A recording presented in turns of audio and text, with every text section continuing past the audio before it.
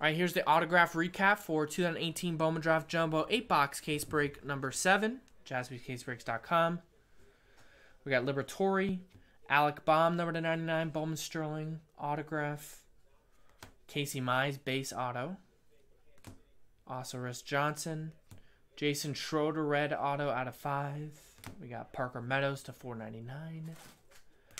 Lenny Torres, number 25. Nick Schnell, Cole Winn. Got a draft night autograph gold, Anthony Seigler for the Yankees. Grayson Jenista. Griffin Conine. Noah Naylor. Purple auto number to 250, Grayson Rodriguez. Carlos Cortes, 101 black paper, non autographed. Cole Winn, number to 150, blue auto. Chris Bubic, numbered, not numbered, sorry, base auto. Josiah Gray, this one's numbered. Josh Breaux, number to 50, gold auto.